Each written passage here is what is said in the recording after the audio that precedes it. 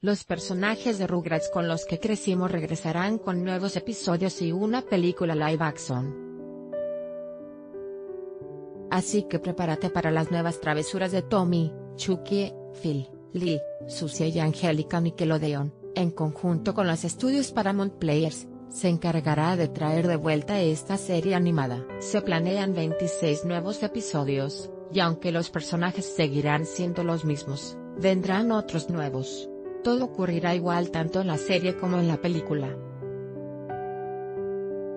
La nostalgia por los Rugrats la serie, que ya se produce en California, vio la luz por primera vez en 1990, se mantuvo al aire durante 10 temporadas hasta 2006.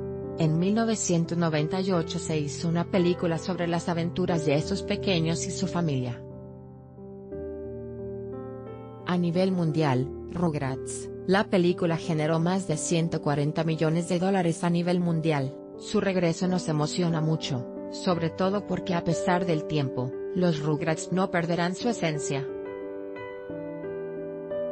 Los creadores originales de la serie, Arlene Klasky, Gabor Chupo y Paul Germain serán los productores ejecutivos de la caricatura. No nos toparemos con sorpresas desagradables.